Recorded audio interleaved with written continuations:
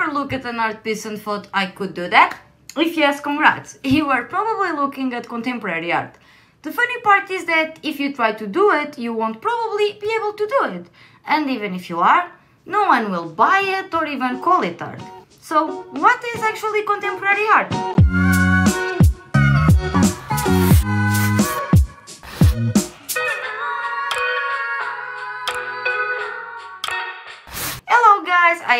Mariana and welcome to my new channel Art Talks. This is my first video so please don't judge me and here I'm going to speak not only about contemporary art but also about the art market. All support is welcome so please don't forget to like, subscribe and of course watch the video until the end. So for the first video I'm going to talk about what is contemporary art. I always get surprised when people tell me that they don't understand contemporary art. After all, contemporary art refers to the art produced from the late 20th century until nowadays. But how we actually define contemporary art? So let's go a bit back in time. The notion of contemporary art dates back to the 1930s when modern art was first defined as a movement.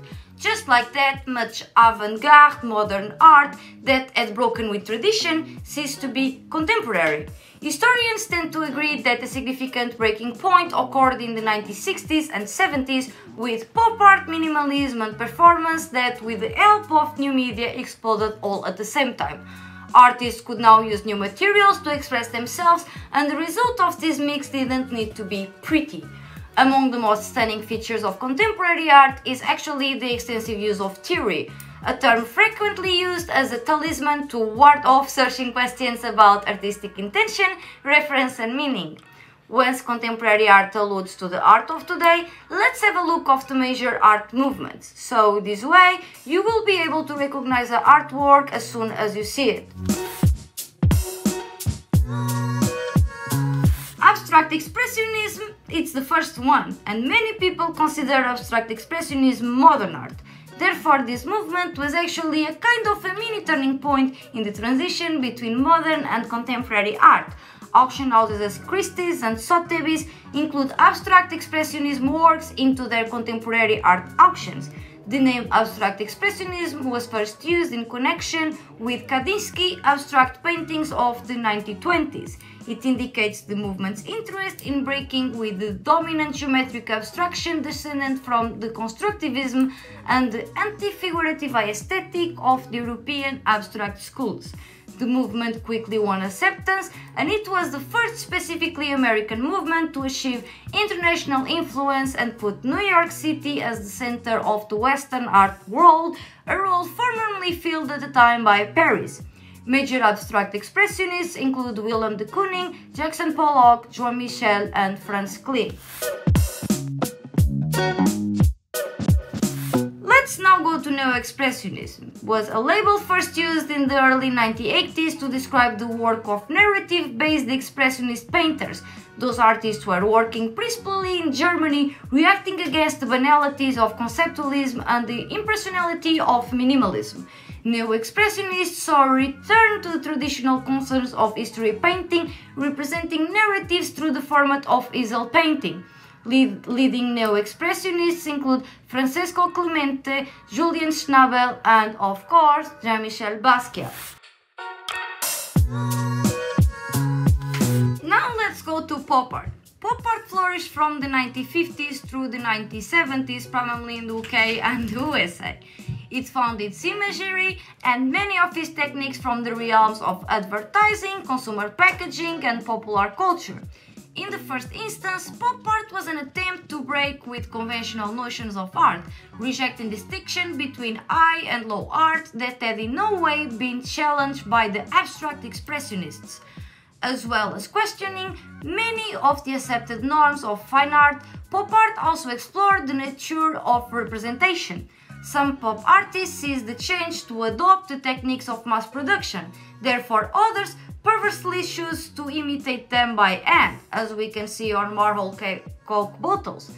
In these pieces, the minimal art content shows them to be connected with minimalism. Leading pop artists include Andy Warhol, Roy Lichtenstein, Keith Haring and Robert Indiana. conceptual art. Just look at this banana. You might have seen it on Twitter, on Instagram, and on the cover of New York Post. This artwork named Comedian was presented at Art Basel in 1920 by Maurizio Cattelan. Yes, it is art and yes, people bought it. It actually had free buyers. Reportedly, two editions were sold by 120,000 and the last one by 150,000. The idea behind it, according with the gallerist, was to explore how we assign worth and what kind of objects with value. This work of Maurizio Cattelan is actually a great representation of conceptual art. Conceptual art gained currency in the 1960s to describe a variety of new art forms. Here the emphasis is not on the physical presence of the artwork but on its conceptual meaning. In practice, this threw up a huge varieties of activities from performance to body art. These works want to explore the conventional limits of art through the use of anti-art practices. Conceptual art is often obtruse, an interest for the most popular audience, and designed to inspire indifference. This intention is that experimenting with unorthodox art forms will turn attention away from questions of representation and imitation. Major conceptual artists include Piero Manzoni, Damien Hirst, Ai Weiwei, and of course Maurizio Cattelan. Now let's go to installation art. Installation art flourished in the 1970s. An installation it is a specific artwork created for a gallery or outdoor location, instead of being simply a neutral backdrop to the exhibition as in traditional hanging, the ensemble of elements that make up the installation are arranged so as to interact with the place chosen. This medium wants to provide the beholder with the sensation of physically entering an art space, Practitioners of this genre include Christian Boltanski, Hans Haacke, and Donald Lipski. Now let's go to minimalism, one of my favorites actually. It's a movement that rose to prominence in the 1960s, practically as a reaction against the gestural painting of the abstract expressionists. More common in sculpture than painting, minimalism employed elemental geometrical shapes. In the 1960s, minimalism issued representation and narrative in favor of representing in its first instance itself. Unlike the techniques of the abstract expressionists, minimalism artists embraced the impersonality of industrial production as main form. In painting, minimalism is characterized by rejecting of gestural painting and an emphasis on abstraction. The apparent simplicity of minimalism art hides the complexity of its intellectual structure, while the work may exhibit a minimal art content, minimalism challenges the beholder to experience a layered and complex aesthetic response. In this way, a work of art with minimal content demands of the beholder a maximal response. Minimalism is often seen as difficult and intractable movement. Practitioners of this place, this genre include Robert Ryman, Donald Judd, and Frank Stella. Photorealism, also known as hyperrealism and superrealism, was a movement that flourished in the 1970s, especially in the USA. Photorealist artists working large format in acrylics made paintings that resemble photographs, especially of the snapshot kind. They employ techniques that imitate the effects of amateur photography, such as informal compositions and banal subject matter. Leading exponents of this style include Mar Malcolm Morley, Richard Estes, and Chuck Close. Now, performance art, that's a to describe the presentation of an event that might include music, poetry, and dance. Moreover, painting, sculpture, film, and video that can also be included. The contest is usually theatrical in the sense that the performance takes place in front of an audience. Most performance artists will insist that it is not theater but an event. An event where the action takes place in real time with real content. There was a strong element of performance art in the manifestation of the futurists and dadaists. This social dimension was continued in such early expressions of performance art as the action painting of Yves Klein, those paintings were created in front of an audience by dragging naked women converted in painting over a canvas.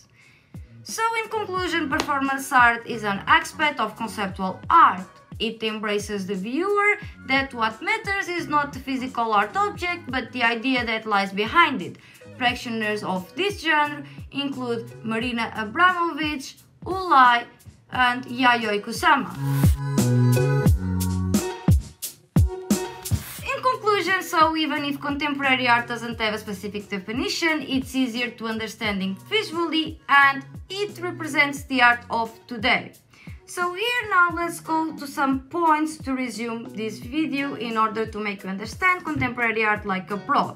Contemporary art refers to the art produced from the late 20th century until nowadays. Every art was once contemporary and the notion of contemporary art dates back to the 1940s but the breaking point occurred in the 1960s and 70s. The meaning behind the contemporary art piece is more important than the technique. Well guys, I hope you enjoyed my video and stay tuned for more contemporary art news. We hope you like it and see you!